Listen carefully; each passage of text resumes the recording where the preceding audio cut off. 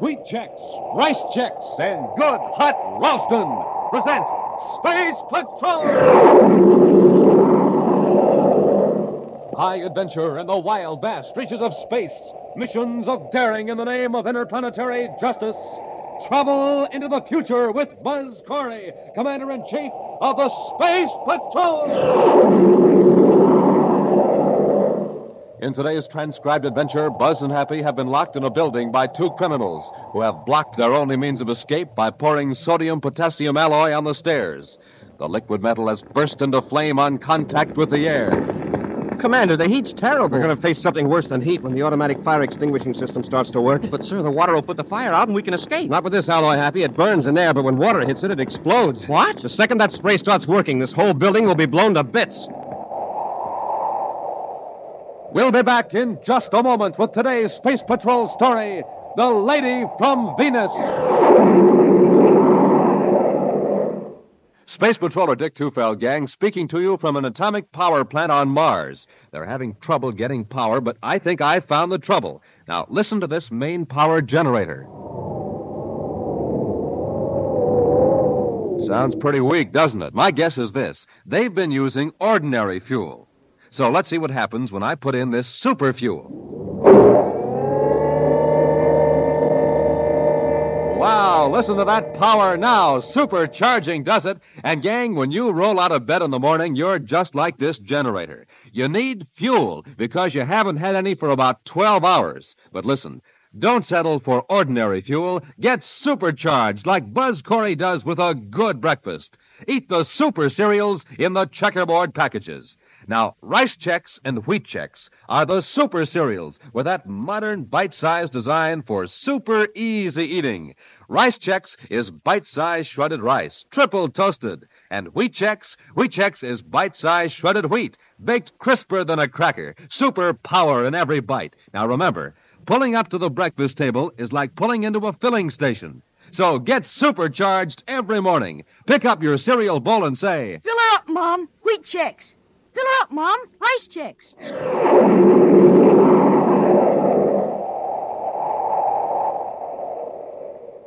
In Commander Corey's central office on Terra, a tall, middle aged man anxiously paces the floor while Cadet Happy checks the Space Patrol search mission reports.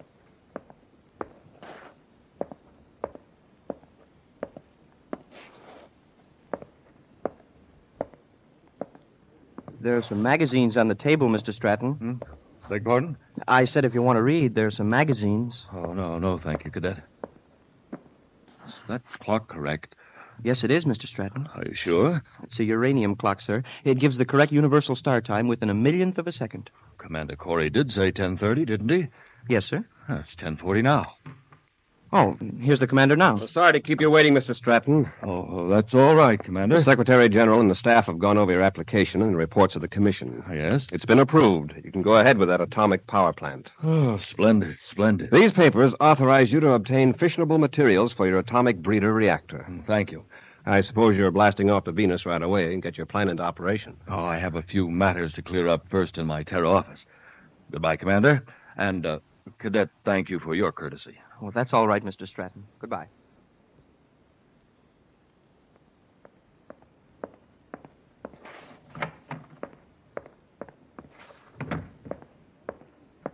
Congratulations, Mr. Stratton. Oh, uh, what can I do for you?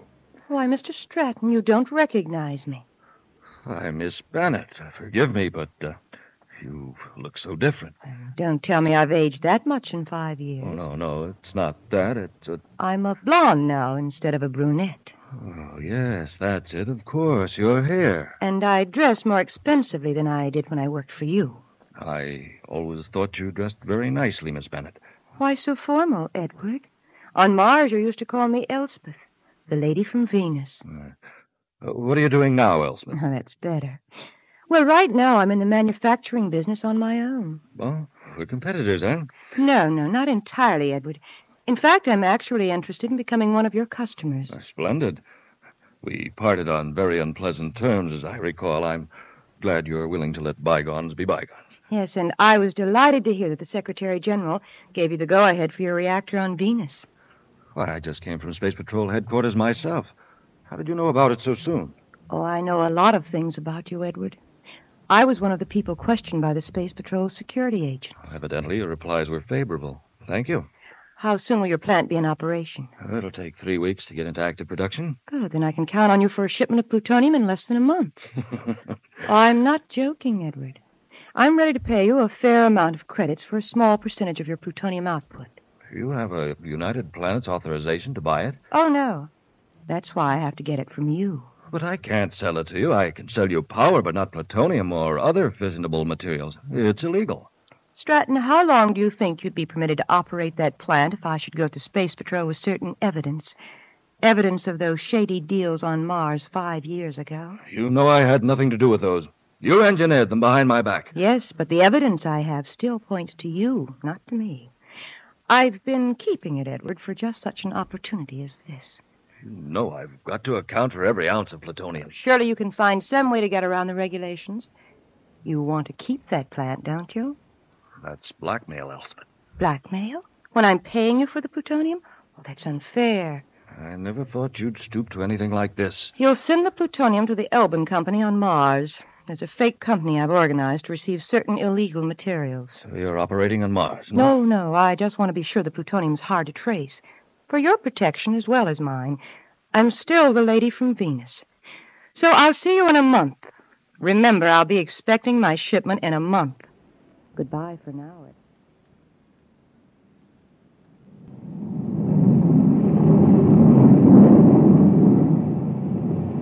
You know what I'm going to do when we get to Lake Azure, Commander? What, Happy? I'm going to go for a swim, and then I'm going to the club and have a steak that thick.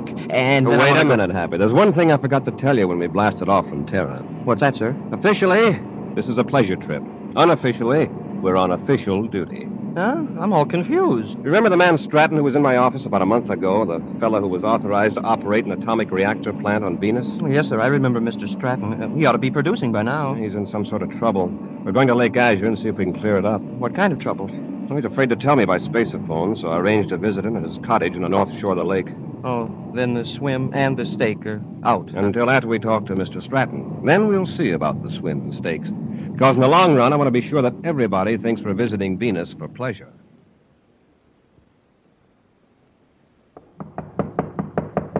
Just a minute. Oh, oh, Elspeth. Yes, Edward. I heard you were resting here at Lake Azure after getting your plant into operation, so I thought I'd pay you a visit. I. Well, aren't you going to ask us in? Mr. Stratton, this is my assistant, Ivan Almond. How do you do? Hello. And Shake hands with him, Edward, or Ivan will think you don't like him. He's very sensitive. Yeah. Shake, huh? Oh, yeah. Easy, Ivan. Mr. Stratton will probably need his right hand to correct a little mistake he made. Oh, mistake? Yes. One of our representatives inside your plant informed us that you shipped a crate to the Elbin Company on Mars yesterday. Uh, that's right. I did. I followed your instructions. Yeah, except you didn't put plutonium in the crate. What a waste of time and money it would be for us to pick up that crate of worthless metal and haul it back to Venus. Oh, worthless metal. Yes. So I brought Ivan with me to persuade you to correct this oversight. You like me to work him over, Miss Bennett? Well, that's up to Mr. Stratton. Yes, I'll, I'll correct the oversight. Good. But the next time you make a mistake, Ivan will uh, work you over, as he calls it. And I'll turn my evidence over to the Space Patrol. It won't happen again. See that it doesn't. Come on, Ivan. All right, Miss Bennett.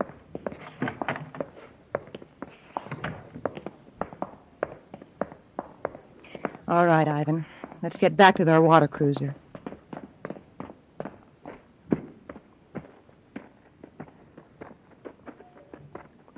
Miss Bennett, look. There is another water cruiser pulling up to Stratton's wharf. Yes, men in uniform.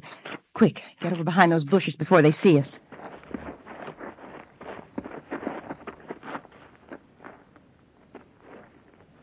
Eh, From here, they look like space patrol patrolmen. It's exactly what they are. It's lucky we beached our cruiser down at the cove. What are they coming here for? We're going to find out. Get in the bushes. We can watch from here. Hadn't we better get to the cruiser and shove off? Wait, Ivan. The tall one's Commander Corey. Yeah.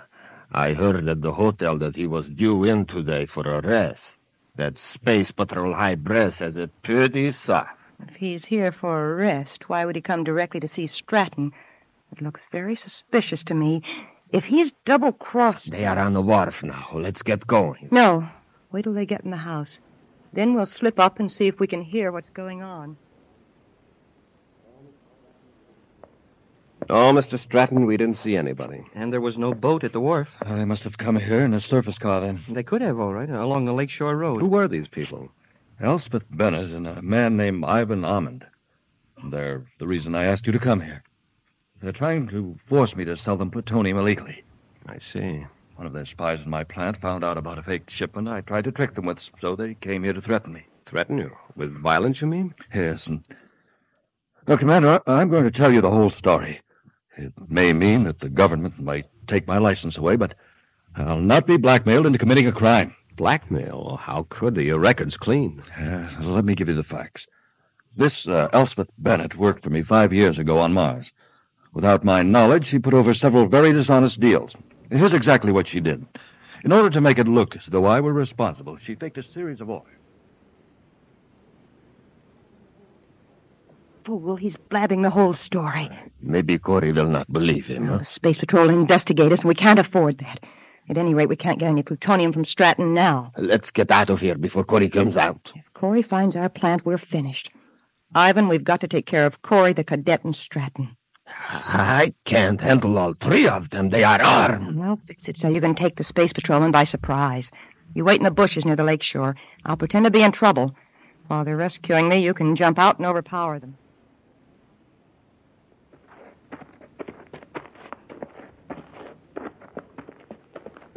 You know, Commander, somehow I think Mr. Stratton was telling the truth about being framed. Well, so do I, Happy. If he weren't thoroughly honest, he could have sold radioactive materials illegally. Yet he's willing to risk losing his plant. Well, Commander, listen. it's a woman. She's fallen into the lake. Come on, Happy. Save me, I can't swim. We're coming, lady. Here, I'll jump in, sir. Now, wait, Happy. She isn't far out. Grab the end of this stick. Uh, that's it. Get a good grip. You're going to be all right. Just hang on. We'll pull you in. Oh, thank goodness you're hard me collar. I've got her, sir. Uh, watch the edge of the bank, Happy. It's not very solid. That's that's how I fell in. Here, I'll give you a hand, Hap. We'll have you out in just a second. Oh, I, I didn't realize the water was so deep, so close to the shore. There. There you are. Now, don't try to get up for a while. Just rest. And you rest too, Colby! Hey, what's the big idea? I got them both, Miss Bennett, just like you said. Oh, there's no time for gloating, Ivan. Go in the house, get Stratton, and bring him out here. Uh, maybe I'd better finish Corey and the cadet now. huh? Give Stratton a chance to get away. No. Somebody's going to find three bodies here by the lake Corey, the cadet, and Stratton. And they'll find the evidence against Stratton in Corey's pocket. Yeah, but the evidence is fake. Well, of course it is, but no one will suspect it. It'll be obvious to everyone that Stratton did away with him to keep from being exposed. How are you going to explain Stratton? Why, Corey wounded him in the fight. Now, get Stratton. Uh, suppose the cadet come too while I'm gone. Either one of them moves, this heavy stick will take care of them.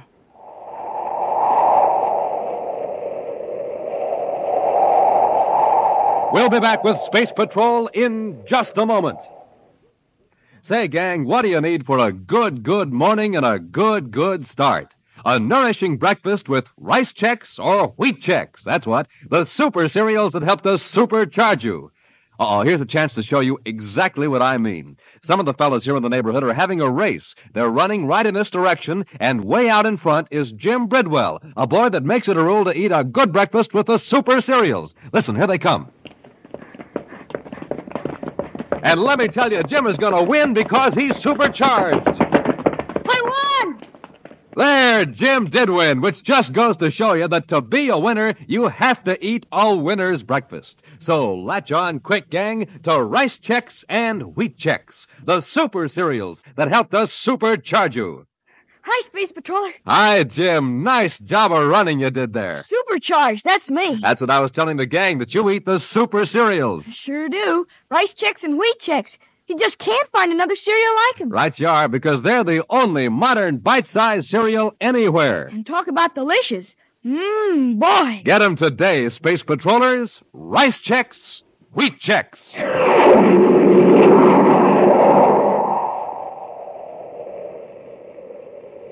Edward Stratton, operator of an atomic reactor plant on Venus, is being blackmailed by a former employee, Elspeth Bennett, into selling plutonium illegally. Buzz and Happy went to Lake Azure on Venus to get Stratton's report and were knocked unconscious by Elspeth's assistant, the burly Ivan Nauman. Now, while Ivan goes to bring Stratton out of his lakeside cottage, Buzz and Happy regain consciousness to find Elspeth standing over them with a heavy club. Don't get any ideas about rushing me. I've got you covered. Commander, look. She's holding the same stick we used to pull her out of the water. If you think I won't use it, just make a move to get up. Oh, Cadet, what are you looking so pop-eyed about? Look, right over your head. There's a snake hanging from that tree limb. Oh, now really? Don't try any childish tricks on me. He's right, Miss Bennett. And it's a poisonous snake. Oh, who do you think you're fooling? We're not You fooling. better move, Miss Bennett. And you'd better not, Commander. It's ready to strike. And so am I. Look out, Commander. I warned you, Commander. Let go of that stick. I was hoping Let you'd go. swing at me. No, give me that club. I don't want to hurt you. There. You, if you hadn't ducked, I'd have fixed you good. Yeah, and if the commander hadn't yanked you forward, something would have fixed you for good. Look what's on that branch. It is a snake. Oh, I've got to have. Oh, one minute she's swinging a club at us, and the next she faints dead away. Hmm, women are sure temperamental. At least this one is. You know, Commander, if that snake had bitten Miss Bennett, I'm afraid it would have been one sick snake. Now, this is Yeah. no time for jokes, Happy. We've got to save Stratton. Come on.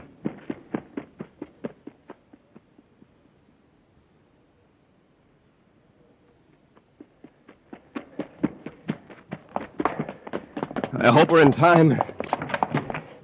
Commander. Stratton, are you all right? Yes, I, I'm all right. Where's Ivan? Oh, he saw you coming, hit me, and then ran out the back door. Stratton, Miss Bennett is out by the lake. Watch her till we get back. Come on, Happy. Let's see if we can pick up Ivan's trail.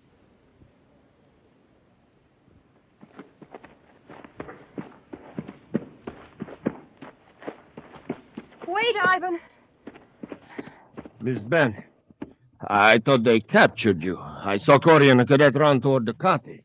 No, Corey struck me and thought I was unconscious. Ivan, did you finish Stratton? No, I didn't have a chance. Corey and the cadet arrived too soon. Miss Bennett, we better get in the boat and shove off. Corey may have trailed me through the brush. All right, let's get across the lake to our spaceship. Help me into the boat.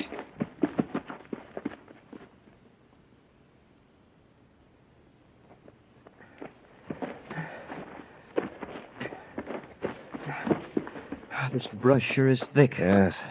Some of these small branches are broken. Ivan's heading for the lake. Do you think you'll try to swim it, sir? He might. He might have had a boat beached along here. Commander, look at these footprints. They lead right out to the water. There's two sets, a man's and a woman's. Uh, Miss Bennett must have come out of her faint. Hey, look out there, halfway across the lake.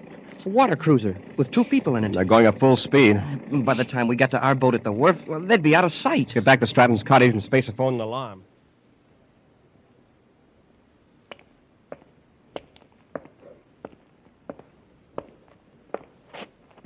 I'm sorry that Bennett woman got away. I got to the lake shore, she was gone. Don't worry, Mr. Stratton. The commander's alerting the lake patrol. She won't get very far. I think she was planning to destroy us all in cold blood. Elspeth's always been a determined woman. I had no idea she was so utterly ruthless. I just talked to the manager of the Lake Azure Hotel. Neither Ivan nor Miss Bennett were registered there, but the manager recognized their descriptions. They've been hanging around there the last couple of days. They must have been picking up information. I've alerted the Lake Patrol and Venus City headquarters. Mr. Stratton, do you have any idea where Miss Bennett's factory is? No, other than she hinted it somewhere here on Venus. So what's the name of it? I don't even know that. I was supposed to ship the plutonium to the Elbin Company on Mars. It's a fake outfit she uses just to acquire illegal materials. The Elbin Company. Chances are she must do quite a bit of business under that name. I'll have Space Patrol units contact all spaceports and shipping centers to see if there's any freight on hand for the Elbin Company. Mr. Stratton, you'd better come with us to Venus City. Until we capture Elspeth Bennett and Ivan, your life is in danger.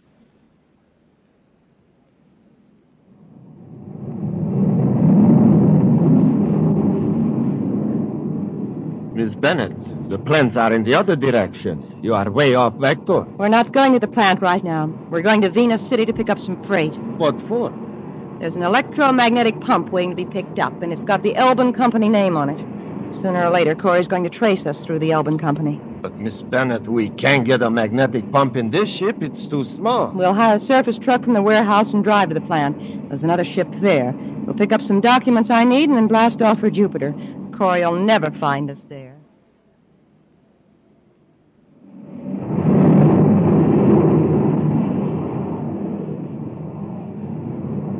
We're about two minutes out of Venus City, sir. Shall I contact Space Control? I'll handle it, Hap. Space Patrol Headquarters, Venus City, calling Commander Corey.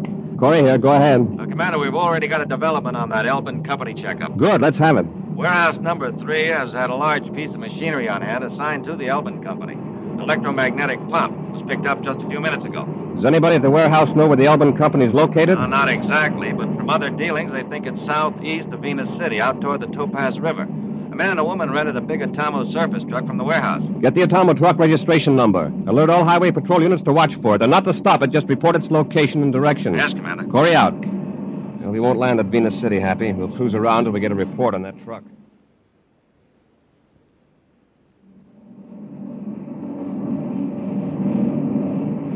I've got the Atomo truck in the viewscope, sir. It's the only vehicle on the highway for miles. Yeah, that must be it then. Check that chart of the Topaz River region. Yes, sir. What manufacturing concerns are marked there? Well, there's only one, sir, but it doesn't say what it is. Um, when the truck arrives, we'll be there.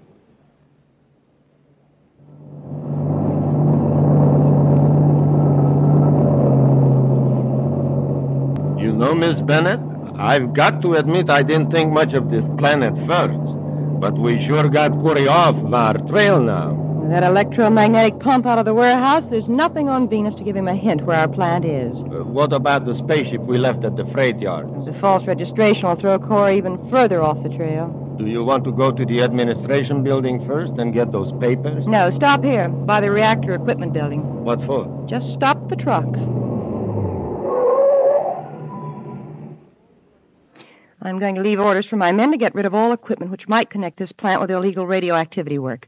We'll go in here and take a quick inventory. Well, I can tell you what is in there. A container of sodium potassium coolant, heat exchanger, a receiving Yes, tank. yes, I know, but I don't want any slip ups. Come on, get out. It's going to be a job to dispose of all that, and a real shame to destroy it. It'll just be hidden. A few months from now, I'll set up a plant on another planet. Nobody's going to stop the lady from Venus. I can promise you that.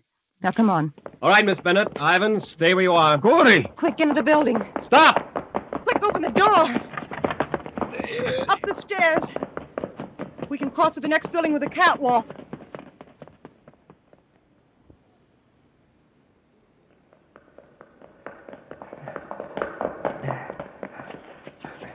There they go, sir. Up the stairs. Come on, let's get him. Ivan, open the door of the catwalk.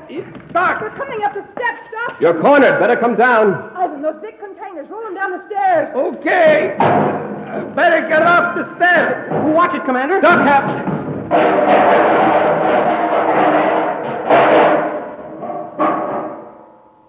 Shall I roll this one now? Ivan, wait. Don't roll it. Open the valve and let it pour down the stairs. Huh? Tip it over and point the valve toward them. Hurry. Commander, what do you suppose she's up to? I don't know. Corey, this drum contains sodium potassium coolant. It's used in atomic breeder reactors to carry off heat from the reactor core. When it's exposed to air, it'll burst into flames. Turn the valve, Ivan. There it goes! Stand back, Happy. Now let's see you come up those stairs. Commander, the heat, it's awful. Oh, All right, Ivan, get that door open. Yes, Miss Bennett. Happy, we can't get up through that flaming liquid, and they can't get down. We'll go outside. Sorry, Commander, you won't be leaving. She's closed the door. The electronic control switch is up here. Oh, it's no use, cadet. You can't open that door. I got this one open, Miss Bennett. We're leaving you now, Commander. No, by the way, there's an automatic fire extinguishing system in here. In a minute or two, water will be sprayed all over that sodium potassium alloy. And that's your life. Come on, Ivan, we haven't got much time. Hey, did you hear that, Commander? The sprinkling system will, will put the fire out. And if it works If quickly. the sprinkling system starts, we're finished. Huh? This coolant has to be kept in a closed, airtight system. It burns in there, but when water hits it, it explodes violently. All these containers will blow up. Commander, we've got to get out of here. Now, look, there's an electronic hoist. A chain runs up to that pulley fastened to the beam. If that hoist will lift us high enough, we can swing over to the balcony and get out the way they did. Grab the hook, I'll throw the switch. Yes, sir. Get a good grip. I'll hold the chain and kick the switch with my foot. Hey, it's working, sir. We're going up. Start swinging. When we're level with the balcony, jump. Yes, sir. Hey, the sprinkling system. It started to work. Let's hope the water doesn't hit that coolant till we get out of here. Jump, Happy! Quickly, out the door across the catwalk.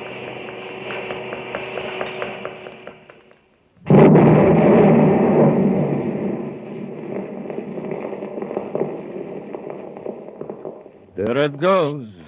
Three whole buildings blown to bits. Yes, and Commander Corey along with them. Oh, come on, let's get to the ship. Let's use my ship. It's closer. Corey! Hold it, Ivan. Corey, you couldn't have escaped. Uh, but we did, uh, which is something that's never going to happen to a certain lady from Venus. Yes, sir, Commander. When she teamed up with Ivan Ammon, it sure was an evil omen.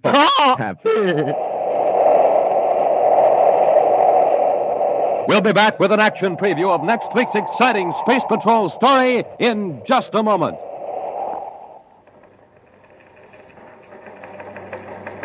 Jumpin' Jupiter, gang. Here's a five star bulletin from Buzz Corey. It's coming over the teletype here in the newsroom of Terra's biggest newspaper, the Outer Space Dispatch. Here, I'll read it to you hot off the news tape. It says, Gang, don't take a chance those cold winter mornings. Get a start for the day that keeps you moving. Eat a breakfast that whips you into action. A good breakfast with good hot Ralston, the hot super cereal that helps to supercharge you. That's Instant Ralston, the delicious wheat cereal. Remember, I can't take a chance. I have to get supercharged every day. That's why I eat a good breakfast with Instant Ralston, a breakfast that supercharges me.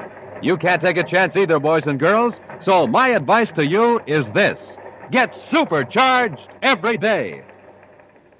That's it, gang. That's Buzz Corey's message to you. So do what your commander says. Eat a good breakfast with good hot Ralston and get supercharged.